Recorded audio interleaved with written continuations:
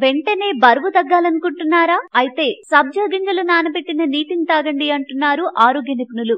సబ్జా గింజలు నానబెట్టిన గ్లాసుడు నీటిని ఉదయాన్నే తాగితే చక్కటి ఫలితాలుంటాయి. ఈ నీరు చక్కటి యాంటీబయాటిక్ లాగా పనిచేస్తుంది. ఒంట్లోని అన్ని రకాల వ్యాధికారక క్రిములను చంపేసి కొవ్వు పెరుగుదలకు కారణమయ్యే వ్యర్థాలను తొలగించి వేస్తుంది. ఈ నీరు టైప్ టూ మధుమేహాన్ని అదుపులో ఉంచుతుంది. అంతేకాదు ఈ నీరు దాహార్తిని తీర్చి డీహైడ్రేషన్ రాకుండా చూడడం చూడడంతో పాటు బరువు తగ్గడానికి కూడా సహకరిస్తుంది. శరీరంలోని అదనపు క్యాలరీలను కరించడంలో సబ్జా గింజలకు పెట్టింది పేరు. అందుకే బరువు తగ్గాలనుకునే వారు సబ్జా వాటర్ను సేవించొచ్చని ఆరోగ్య నిపుణులు సలహా ఇస్తున్నారు. ఇంకా సబ్జా గింజలను నీటిలో నానబెట్టి తాగడం వల్ల శరీర జీవక్రియల పనితీరు మెరుగుపడుతుంది. సబ్జా గింజలు నీటిలో వేయగానే కొంతసేపటికి ఉబ్బి జెల్ మాదిరిగా తయారవుతాయి. శరీర పనితీరుకు ఉపకరించే ఫ్యాటీ ఆమ్లాలతో పాటు అధికంగా పీచుని ఇవి కలిగి ఉంటాయి. ఇందులో మహిళలకు అవసరమైన ఫోలెట్ నియాసిన్ ఇంకా చర్మాన్ని అందంగా ఉంచే విటమిన్ ఇ లభించడంతో పాటు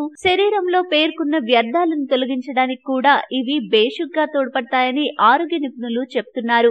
సబ్జా పానీయం తయారీకి కావలసిన పదార్థాలు సబ్జా గింజలు నిమ్మకాయలు తయారీ విధానం. సబ్జా గింజలను నీళ్ళలో వేసి ఐదారు గంటలు నానబెట్టాలి. ఆ తర్వాత దానిలో కొంచెం నిమ్మరసం కలుపుకుని తాగాలి ఈ విధంగా కొన్ని రోజులు చేస్తే క్రమంగా పొట్ట చుట్టూ ఉన్న కొవ్వు కరుగుతుంది. రెండో రోజు నుంచి కొవ్వు కరగడాన్ని అనుభవపూర్వకంగా తెలుసుకోవచ్చు. ఈ వీడియో మీకు నచ్చితే లైక్ చేయండి. అందరికీ షేర్ చేయండి. కానీ సబ్స్క్రైబ్ చేయడం మాత్రం మర్చిపోకండి.